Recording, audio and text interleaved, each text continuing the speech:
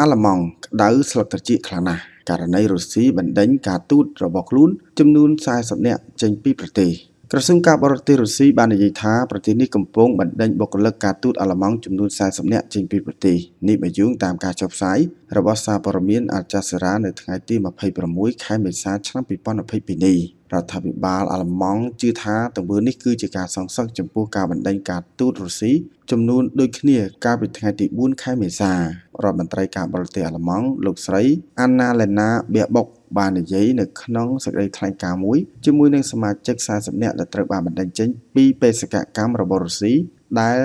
មិនដែលធ្វើការជាអ្នកការទូតក្នុងកំឡុងពួកគេនៅក្នុងប្រទេសអាល្លឺម៉ង់នោះលោកស្រីបានបន្ថែមថាផ្ទុយទៅវិញពួកគេបានខិតខំជាប្រព័ន្ធអររយៈពេលជាច្រើនឆ្នាំដើម្បីបំផ្លាញសេរីភាពនិងការស្អិតរមួតរបស់យើង នៅក្នុងសង្គមរបស់យើងលោកស្រីថាផ្ទុយទៅវិញបុគ្គលិកការទូតអាល្លឺម៉ង់ត្រូវបណ្ដេញចេញពីរុស្ស៊ីមិនបានធ្វើខុសអ្វីនោះទេលោកស្រីបានកត់សម្គាល់ថាពួកគេបានទៅប្រទេសរុស្ស៊ីដើម្បីបម្រើទំនាក់ទំនងទ្វេភាគីទោះបីជាមានស្ថានភាពមិនល្អនៅទីនោះក៏ដោយដូច្នេះរុស្ស៊ីបានធ្វើឲ្យខូចប្រយោជន៍ខ្លួនបន្ថែមទៀត។ ប្រព័ន្ធផ្សព្វផ្សាយរុស្ស៊ីរួមទាំងទីភ្នាក់ងារសារព័ត៌មានរដ្ឋរបស់រុស្ស៊ីបានផ្សាយថាបុគ្គលិកការទូតរបស់រុស្ស៊ីប្រហែល400នាក់នៅក្នុងប្រទេសចំនួន28ត្រូវបានបណ្តេញចេញចាប់តាំងពីប្រតិបត្តិការយោធាបានចាប់ផ្ដើមនៅអ៊ុយក្រែនហើយរុស្ស៊ីបានប្រមានអំពីវិធានការសងសឹកវិញ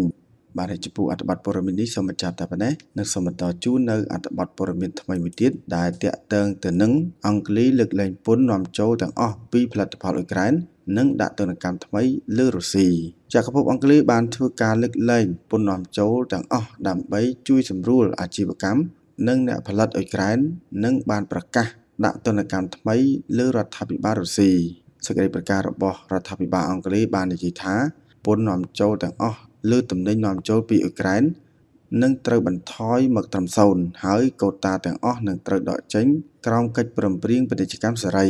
ការលើកលែងពន្ធលើផលិតផលនាំចូលសំខាន់សំខាន់របស់អ៊ុយក្រែនរួមមានស្រូវសាលីទឹកឃ្មុំប៉េងប៉ោះនិងបសុបក្សីនឹងជួយដល់ជីវភាពនិងអ្នកផលិតអ៊ុយក្រែននេះគឺជាការបញ្ជាក់នៅក្នុងសេចក្តីប្រកាសរដ្ឋាភិបាលអង់គ្លេសបានប្រកាសពីការបិទការនាំចូលផលិតផលនិងបច្ចេកវិទ្យា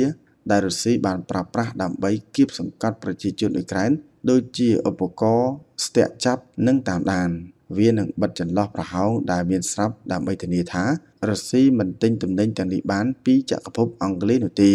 ចំពោះអត្ថបទព័ត៌មាននេះសូមបញ្ចប់តែប៉ុណ្ណេះជួបគ្នានៅវីដេអូក្រោយៗទៀតសូមអរគុណសូមគោរពលា